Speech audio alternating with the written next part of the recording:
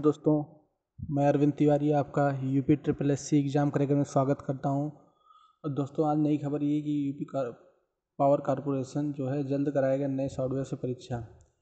और इन्होंने लगभग नौ मई में के अंत तक इन्होंने परीक्षा का शेड्यूल डालने को मतलब बोला गया है, इन्हें बोला गया है कि परीक्षा कराएँगे।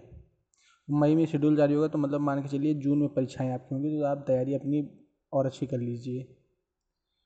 और, देखिए, नई यही है आई टी विभाग से मांगी सलाह, परीक्षा एजेंसी के चयन पर माथा पच्ची।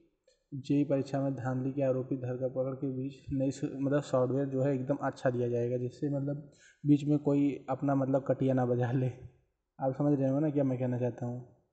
कटिया बजाने का अर्थ यही कि मतलब बीच में कोई अपना हैक करके कोई काम ना कर ले। लेकिन दोस्तों, अभी परीक्षा जो है, एजेंसी है, अभी उसका चयन नहीं हो पाया दोस्तों। तो परीक्षा चयन की जो मतलब एजेंसियाँ उन पर माथा पच्ची हो रही क्योंकि कई अब आ गए हैं। अब वो गया तो दो चार लोग और टेंडर भरे होंगे। तो भाई कन्फ्यूज़न होगा सरकार को, किसको दे, किसको दें। तो दोस्तों, मुझे लगता है सरकार को उसको देना चाहिए जिसका अभी तक का रिकॉर्ड जो है एकदम सही हो, कोई दिक्कत ना हो और जिसने अभी तक एकदम पूर्णतया निष्पक्ष ढंग और पारदर्शी तरीके से कराया है परीक्षा। और उसने सिलेक्शन लोग को कराया हो।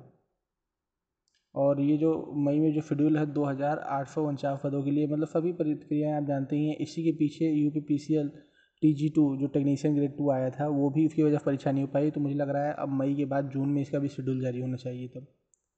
क्योंकि पहले इसको कराएगा, तब उसको कराएगा, पीछे वाले देखिए, आलोक कुमार ने क्या कहा है? कारपोरेशन के कभी सभी पदों पर भर्तियों को नए सिरे से परीक्षा कराई जाएगी। इसी महीने के अंत तक एजेंसी का चयन कर लिया जाएगा। सॉफ्टवेयर के बदलाव के आईटी विभाग के संपर्क, सलाह और मदद मांगी जा रही है। कोशिश है कि मई परीक्षा शेड्यूल जारी कर दें, मई में। तो दोस्तों, आप तैयारी करते रहिए और सब्सक्राइब ज़रूर कीजिए चैनल को।